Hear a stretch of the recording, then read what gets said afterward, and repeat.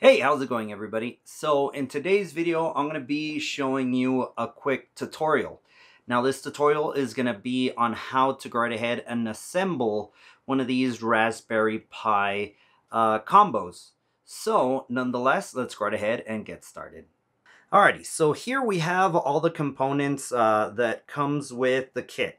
So of course, uh, I went right ahead and just basically uh, just separated everything. So the first thing we want to do is we want to go right ahead and grab the Raspberry Pi. It does not have the SD card still yet. I have that in the side. So first thing, we're going to get the bottom plate and we're going to go right ahead and place it right here. I don't know if you can see, but of course everything will go right ahead and line up right here to these little tabs. Once it's lined in, you can go right ahead and push it down. And we'll go right ahead and get the outside case. So here, we can just go right ahead and slide it in. There we go. All right.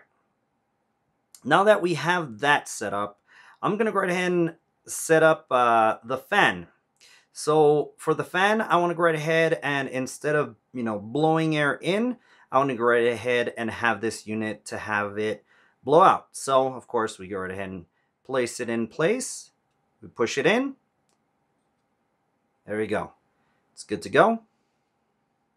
Okay, so to go right ahead and get power from this, we're going to go right ahead and get the red cable right here and then the black cable. And they're going to go, we're going to go right ahead and use the top row and we're going to use pin 2, and 3. So 2 would be positive, and 3 would be negative. So let's go ahead and do that.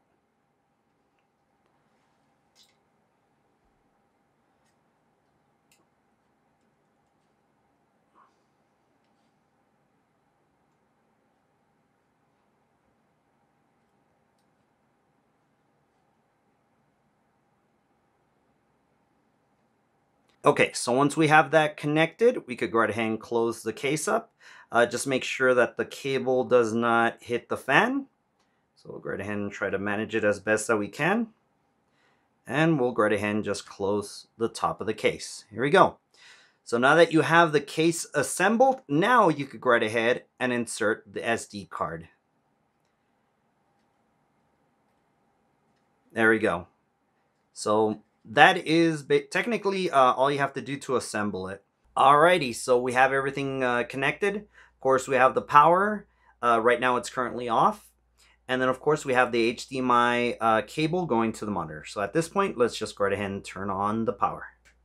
And just so you can see that the fan is working, I'm just going to be very careful. And you can see it is spinning and it's doing its thing. So nonetheless, I really do hope you enjoyed this tutorial regarding how to go ahead and put together the Raspberry Pi. And like always, I really do hope you enjoyed the video and we'll catch you on the next one.